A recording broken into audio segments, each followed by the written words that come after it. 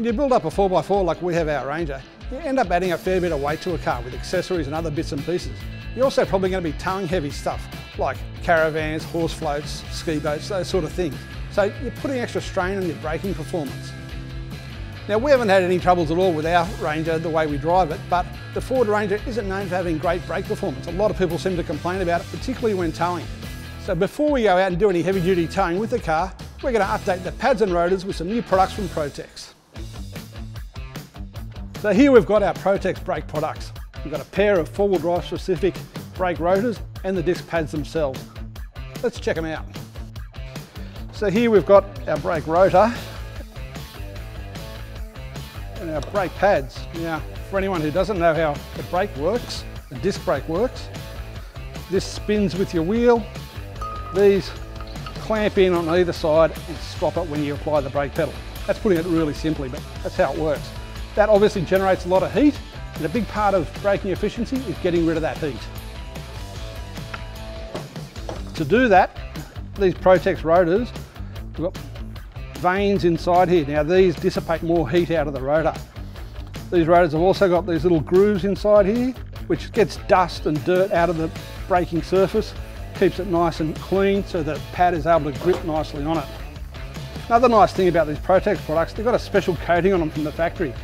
With other products, you might have to give them a wipe down with some Prepsol first before you put them in there, clean them up. These ones have got a coating on here that keeps them nice and clean. There's no rust surface on there at all. So ready to bolt straight on. The pads themselves to dissipate heat once again. They've got no copper in them. A lot of the brake pads got copper in them, which all comes off the rotor as dust, gets into the waterways, kills fish. So yeah, low, low copper is a good thing. About time to get them on the car.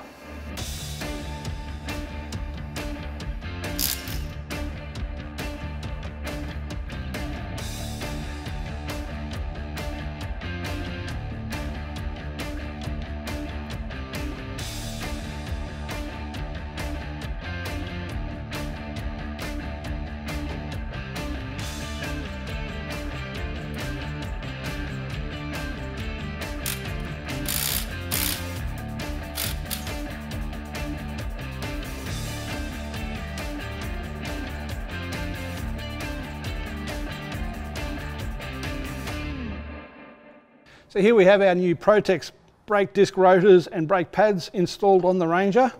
So you see the disc rotor there and the pads are tucked away inside the caliper, which is what clamps down on there when you apply the brake to stop the wheel spinning. So we'll get the wheels back on it now, take it out and give it a road test.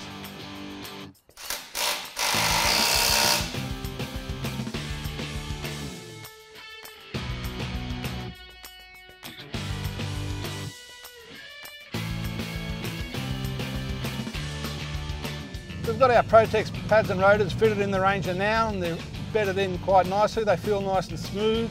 There's no vibration or anything like that. They're quiet, smooth, responsive, even pedal pressure. The real test will come once we get out in the bush with some load in the car, maybe the camper trailer on the back, coming down some nice big steep high country hills, see how they feel there. But you know, the idea is that you won't have any brake fade, nice consistent brake applications, they should be great when we get out in the bush.